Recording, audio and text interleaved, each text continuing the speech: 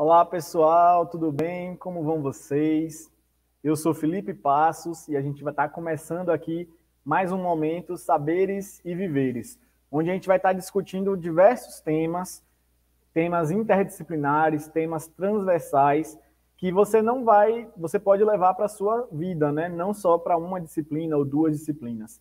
Você vai viver esses temas no seu cotidiano, na sua vida, então você pode levar essa discussão para sua casa, para o seu grupo de amigos, para sua para sua família, para sua escola, enfim. Vou fazer a minha audiodescrição para a gente poder começar a conversa de hoje, certo?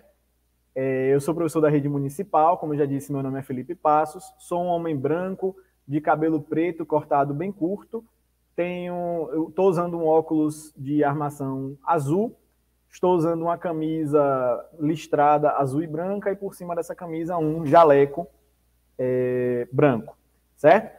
O tema de hoje, esse é polêmico, hein, galera? Fake news. Vamos entender melhor, né, contextualizar o que é isso e quais são os impactos que as fake news têm no nosso cotidiano, certo? Para começo de conversa, o que é um fato? Já pararam para pensar nessa palavra? Já viram essa palavra aí? Com certeza, né? No jornal, no dia a dia, seus professores provavelmente já falaram de fatos. Um fato é algo que é verdadeiro, algo que foi observado, que foi estudado e estudado e estudado e a ciência, os, é, os educadores, eles já têm isso como um fato, como uma verdade, certo? Por isso que é importante a gente se ater aos fatos, checar os fatos, checar o que foi observado e não só o que é imaginado, o que é opinião, o que é, né, enfim, o que não, o que é o que as pessoas acham que é, não necessariamente o que existe, tá? Então, vamos lá. O termo fake news, ele já existia, só que a gente chamava de outras coisas, né? Fake news, que a gente fala hoje em dia, é o velho e bom boato, mexerico, mentira, rumores, né? Quando a pessoa inventa uma coisinha assim sai espalhando, fofoca, disse-me disse. Então, esses aí são alguns termos que a gente já usava para caracterizar uma notícia falsa, uma mentira que está circulando, né? Então, fake news é simplesmente um termo novo para falar de fofoca, de boato, né? É, esse termo é em inglês e a língua né, mais é, difundida no planeta é o, o, inglês. Ele é, ela é falada em diversos países. Não é a maior população falante, se eu não me engano, é o mandarim lá da, da China. Se, pode ser que eu esteja enganado, mas eu acho que é isso. Mas é uma língua que ela está aí nos padrões, né, na universidade, na, nos artigos científicos, nas notícias internacionais. Usa-se o inglês porque é uma língua teoricamente, né, mais acessível, está aí na internet. Então, o termo fake news, ele é um termo internacional para mentira, para fofoca, certo? Então, não é uma novidade, é só um novo nome para a mesma coisa, que sempre existiu. Desde que o mundo é mundo, o ser humano gosta de uma fofoquinha, né? Fale a verdade. Então, olha lá. A gente adora a internet, né? Eu adoro a internet. Eu fico muitas horas do meu dia, não é nem saudável isso, mas eu fico muito tempo na internet, né? Então a internet ela é ótima, ela coloca o mundo nas nossas mãos. No celular ali você tem acesso a informações em tempo real do mundo todo. Você pode jogar, pesquisar, se divertir, conversar, fazer um bocado de coisa na internet, não é verdade? Porém, a internet ela tem um poder de espalhar uma notícia muito rapidamente. Olha esse diagrama aqui do lado. Uma pessoa, ela achou por bem inventar uma notícia falsa aí. Criou uma, uma notícia, fez um, um textozinho, colocou uma imagem fora de contexto, lançou essa imagem, esse texto num grupo de amigos. Basta uma pessoa desse grupo de amigos comprar a ideia e começar a compartilhar, e aí você tem, ó, um efeito dominó essa notícia que foi inventada, ela vai sendo passada para três pessoas, que passam para cinco pessoas, que passam para seis pessoas. Daqui a pouco o país todo já está compartilhando essa mensagem que um indivíduo resolveu criar, seja bem intencionado ou mal intencionado, ou só para se divertir, mas ele criou um, um, efeito dominó, uma reação em cadeia, né? E aí essa notícia foi sendo compartilhada muito rapidamente. A internet ela tem o poder de disseminar uma notícia, de disseminar um vídeo engraçado, é, aquelas dancinhas né, das redes sociais, muito rápido. Em um segundo, milhares de pessoas podem ver o que você postou. Se for em, em grupos de aplicativos de conversa, essa, essa mensagem ela vai sendo compartilhada, compartilhada, compartilhada, até que tá todo mundo sabendo de uma coisa que alguém inventou, né? Então, as fake news elas acabam impactando diversos setores da sociedade. Um deles, que atualmente preocupa muito os educadores, os cientistas, os médicos, é o setor da saúde. Por quê? A gente está vivendo um período de crise de saúde. A pandemia é uma doença que começou a se espalhar e tomou conta do mundo todo. E aí o pessoal criou diversas fantasias em relação à pandemia, né? E que acabam dificultando muito o trabalho de quem está lá na linha de frente, nos hospitais, né? Porque se uma pessoa, por exemplo, não acredita no uso da máscara, ela vai ter uma chance maior de se contaminar e de contaminar outras pessoas. E se o hospital está cheio, graças a Deus os números estão começando a melhorar agora mas já tem aí a variante Delta para preocupar a gente um pouquinho mais. Em alguns países os números voltaram a subir. Mas, enfim, voltando aqui à questão da fake news. Se tem muita gente desobedecendo os protocolos de segurança, significa que vai mais gente parar no hospital. O hospital cheio não consegue cuidar de todo mundo bem. Então, se você tem um paciente, você consegue dar suporte a esse paciente, cuidar dele, prestar atenção nos sinais vitais, dar o remédio na hora certinha. Mas se tem ali uma sala com 20 pessoas, 30 pessoas acamadas, a equipe médica, a equipe de enfermagem não consegue dar conta. Simplesmente não consegue, porque é, é inumano, né? desumano. Não consegue se. As pessoas não conseguem se multiplicar. Então, assim, tem muita mentira que é espalhada por aí. Por exemplo, o uso de remédios, a insegurança das vacinas e um bocado de outras coisas aí, chás misteriosos, né? o vírus ser uma, uma arma biológica, enfim.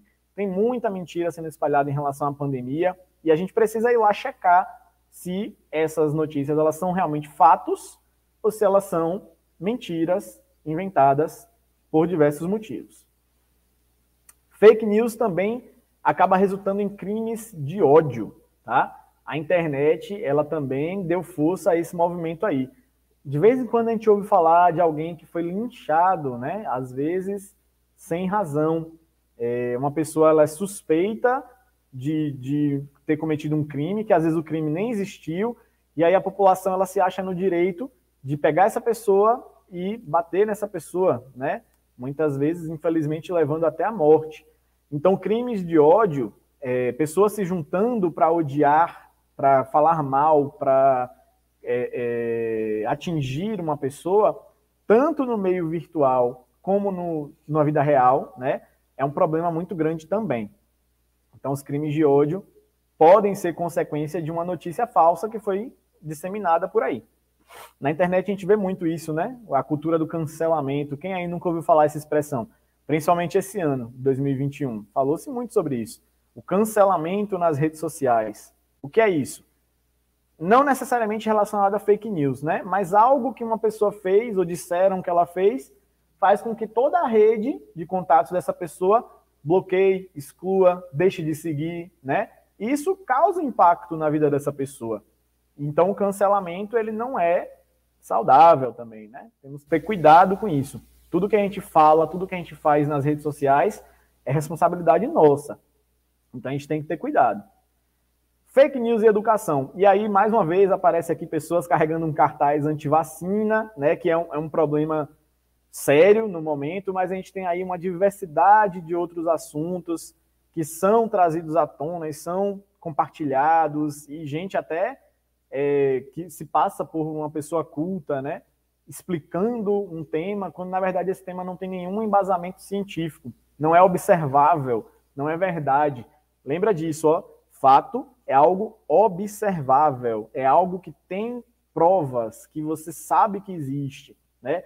Um exemplo aí clássico, e em alguns momentos até hilário, né? Eu, como professor de ciências, fico chateado, mas às vezes eu acho até graça, porque o pessoal fala, por exemplo, da Terra plana. não tem nenhum respaldo científico, não tem nenhuma observação concreta que nos leve a, crer que a Terra é plana. Então, por que, que isso é tão difundido? Por que, que isso é tão espalhado por aí, né? Então, é um tema que é considerado polêmico, mas na minha opinião não deveria ser nem polêmica, não deveria ser nem pauta de discussão, uma vez que a gente não tem nenhuma prova da, da Terra ser plana e a gente tem uma diversidade de provas e argumentos sobre a Terra ser esférica, né? Fake news e política. Infelizmente, a gente vive um, um momento muito conturbado da política nacional. É, não estou fazendo nenhum juízo de partidos aqui, tá?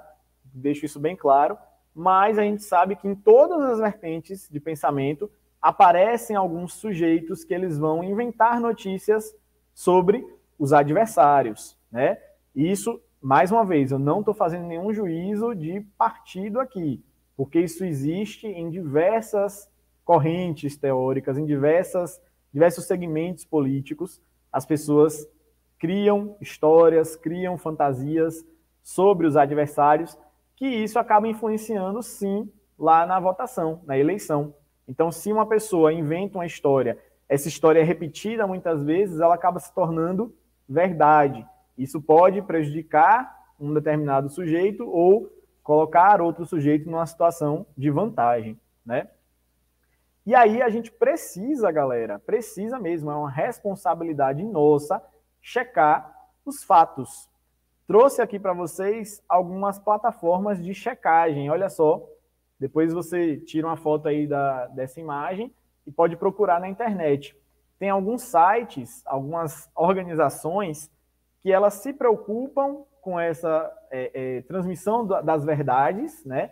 E por isso elas fazem um trabalho de pesquisa sobre os assuntos que estão sendo mais comentados na internet. Aí, às vezes, você recebe aquela notícia assim na, no aplicativo de mensagens, aquela notícia bombástica, né? Aquela notícia, uau, super interessante, super impactante. E você acredita, porque está bem escrito, às vezes tem imagens que parecem comprovar o que está sendo dito. Mas, se você simplesmente confiar no que chega no seu celular, você corre um grande risco de estar tá acreditando em notícias falsas, certo, gente?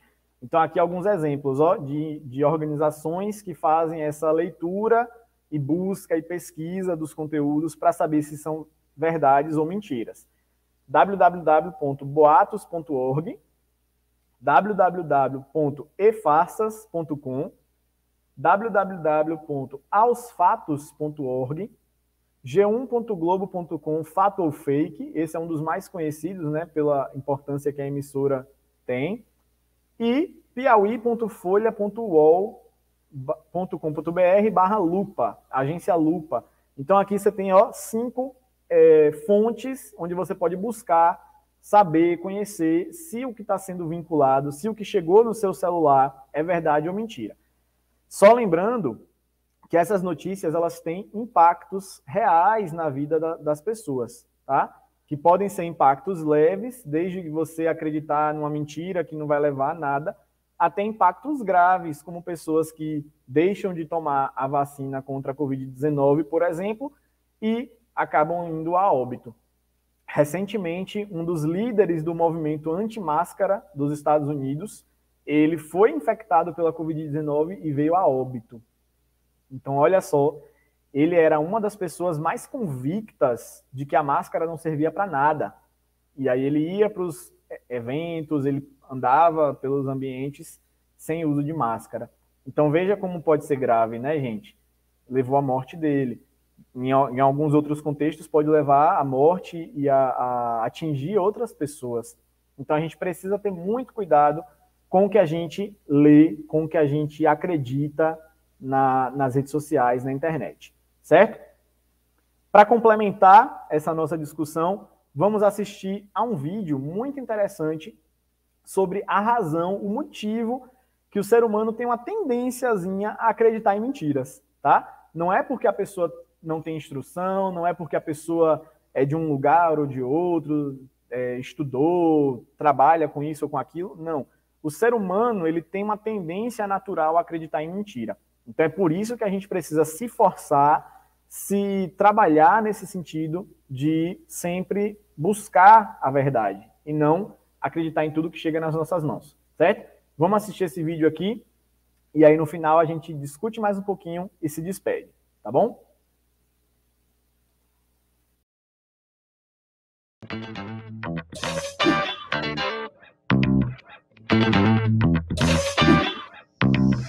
Sejam bem-vindos ao Nerdologia. Eu sou o Atila, biólogo, pesquisador e animado, mas com conteúdo. Hoje a gente vai ver fake news. Em 1982, um grupo cristão libanês invadiu uma área que estava ocupada por forças militares israelenses em Beirute e matou centenas de palestinos e xiitas libaneses no massacre de Sabra e Shatila. A situação do ataque foi bastante confusa e cada grupo culpou outros grupos diferentes pelo ataque de israelenses culpando exclusivamente os libaneses, a palestinos acusando os israelenses de terem ajudado ou, no mínimo, sido coniventes com o que aconteceu. E não, você não está no Nerdologia errado, a parte que importa hoje vem agora. Três pesquisadores aproveitaram a situação complexa para ver como os estudantes iam reagir à cobertura feita pela imprensa. Eles entrevistaram e classificaram mais de 240 alunos de Stanford em três grupos: aqueles pró-Israel, pró-Palestina e os que não sabiam do assunto e eram neutros a respeito. E em seguida passaram para eles vídeos com as notícias que os jornais estavam dando sobre o massacre. Para o grupo neutro, as notícias foram imparciais e isentas, mas para o grupo pró-Israel, as mesmas notícias ou culpavam demais o país ou mostravam um papel muito maior do que ele realmente teve. E os repórteres e editores que fizeram as matérias tinham um alinhamento pró-árabe enquanto para o grupo pró-Palestina, as mesmas notícias não culpavam Israel o suficiente ou diminuíam o papel que o país teve, e os jornalistas e editores tinham alinhamento pró-Israel. A mesma cobertura pela imprensa foi vista como neutra, enviesada para atacar, enviesada para favorecer Israel. Ou seja, o viés estava muito mais na opinião de quem viu do que no conteúdo. O fenômeno ganhou o nome de efeito da mídia hostil, quando grupos que já têm uma opinião formada podem interpretar a mesma notícia de formas diferentes. E foi observado em todo tipo de assunto polarizado, de política à economia, de esportes a qual melhor videogame. Por isso, um mesmo jornal ou uma mesma notícia podem ser vistos por grupos opostos como favorecendo o outro.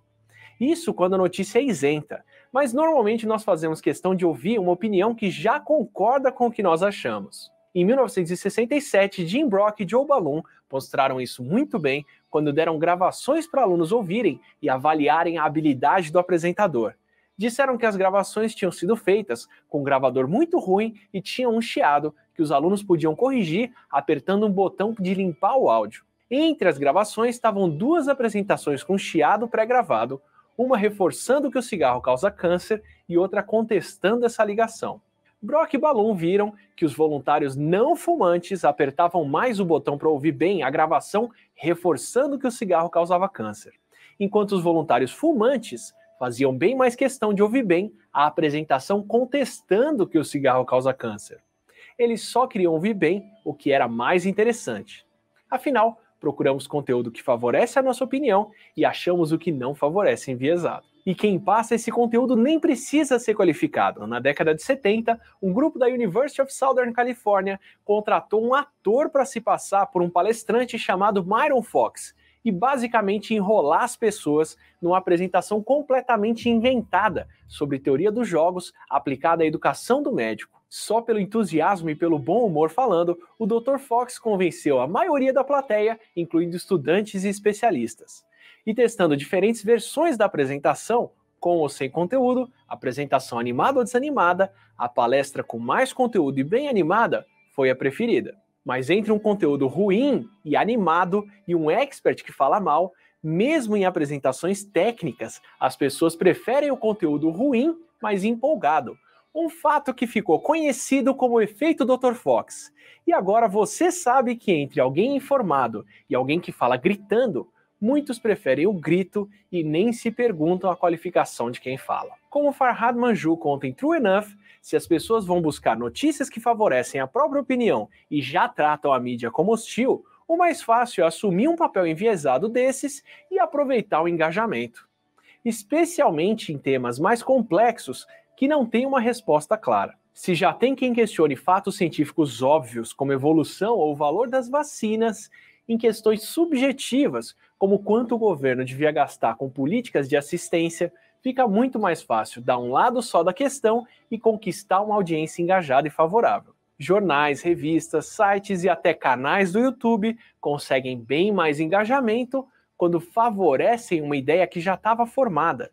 E se isso rende mais engajamento, melhor ainda para as redes como o Facebook circularem essas ideias e manterem a sua atenção lá dentro. Ou, como já explicamos por aqui, compartilhar o conteúdo que mais polariza e chega em pessoas com opiniões mais extremas, mesmo que esse conteúdo seja falso. Antigamente, quem tinha uma ideia extrema, na maioria das vezes, só encontrava ideias contrárias. Hoje é muito mais fácil fazer parte de um grupo com as mesmas ideias ou piores, com a noção de que o Holocausto não aconteceu ou de que o nazismo foi positivo. O problema é que negacionismo e fake news podem ter consequências bem sérias, além de dar margem para o passado se repetir. Peter Duisberg foi um pesquisador de bastante renome em câncer, até defender a ideia de que a AIDS não era causada pelo HIV, mas sim pelo uso de drogas. Ideia perigosa que foi comprada pelo presidente da África do Sul, Thabo Mbeki, entre 1999 e 2008. Mbeki suspendeu a distribuição de medicamentos contra HIV, incluindo medicamentos que previnem a transmissão do vírus de gestantes soropositivas para os bebês o que além de debilitar a saúde de quem já estava infectado, ainda facilitou o surgimento de muitos novos casos de HIV e AIDS. Diferentes estudos estimaram que essa política foi responsável pela morte de mais de 330 mil sul-africanos. Então, quando você receber notícias, vídeos, posts e mensagens suspeitas de WhatsApp, como aquelas questionando algumas coisas bem conhecidas, não se esqueça que todo mundo está sujeito a cair em notícias falsas. Vale, no mínimo, se fazer algumas perguntas. O autor ou a autora do conteúdo tem qualificação para falar daquilo? Ou pelo menos cita fontes? E as fontes que cita leu? Admite quando está errado? E o que, que essa pessoa ganha tratando desse assunto com essa abordagem? E por que, que eu tô aqui avisando você disso? Então, né?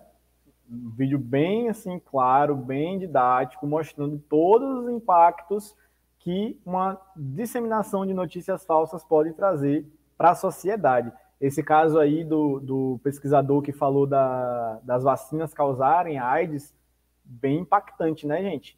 Um, uma, uma atitude de um pesquisador, olha só, uma pessoa que teoricamente tinha respaldo para falar, só que ele não tinha provas disso, foi simplesmente uma ideia que ele teve e disseminou sem provar, levou a um líder de um país a cancelar a distribuição de medicamentos contra a AIDS. E isso levou, em uma estimativa né, de alguns institutos de pesquisa, a mais de 300 mil mortes ao longo dos anos de pessoas soropositivas. Porque a AIDS é uma, uma infecção que, se tratada, se é, a pessoa usa a medicação, o coquetel medicamentoso, os efeitos, os, os, sintomas, eles praticamente não aparecem, né? A pessoa tem vida normal.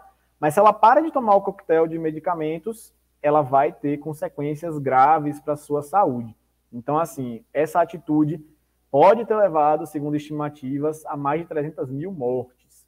E isso, no contexto atual, esse vídeo é de antes da pandemia, então, no contexto atual, levanta esse alerta, né, para a gente ficar realmente atento que essas notícias elas podem sim impactar a vida de milhares de pessoas. Quem sabe quantas pessoas não poderiam ter ficado vivas, né, ter sobrevivido, nem ter contraído a Covid-19, se a gente tivesse acreditado nos protocolos de segurança. Então, assim, é como eu disse no começo da aula, é um tema polêmico, mas que nem devia ser a gente devia ter a consciência de que chegou uma notícia na nossa mão, se não é um meio oficial de comunicação, se não é um, um instituto que tem respaldo para falar, a gente tem que desconfiar, né? O que uma pessoa que é próxima da gente, um amigo, um tio, manda para a gente, não necessariamente é verdade. E não necessariamente é maldade daquela pessoa que enviou, tá? Ela pode ter simplesmente acreditado e passado adiante, assim como você pode acreditar e passar adiante. Mas a gente tem que ter cuidado, tem que ter responsabilidade e consciência das possíveis consequências de uma notícia falsa sendo disseminada para você e para a sociedade como um todo, certo? Lembrando que a gente pode conversar sobre esses temas em diversos ambientes da nossa vida. Os temas trazidos aqui no Momento Saberes e Viveres são transversais, interdisciplinares. Leve essa discussão para sua roda de amigos, converse com sua família sobre o problema das fake news, converse com seus amigos, leve essa discussão para a sala de aula, que eu tenho certeza que todos os seus professores vão ter uma contribuição legal para te ajudar nesse percurso aí de entender as notícias e buscar a verdade sempre. Tá bom, galera? A gente vai ficando por aqui. Um beijão, até semana que vem. Tchau, tchau.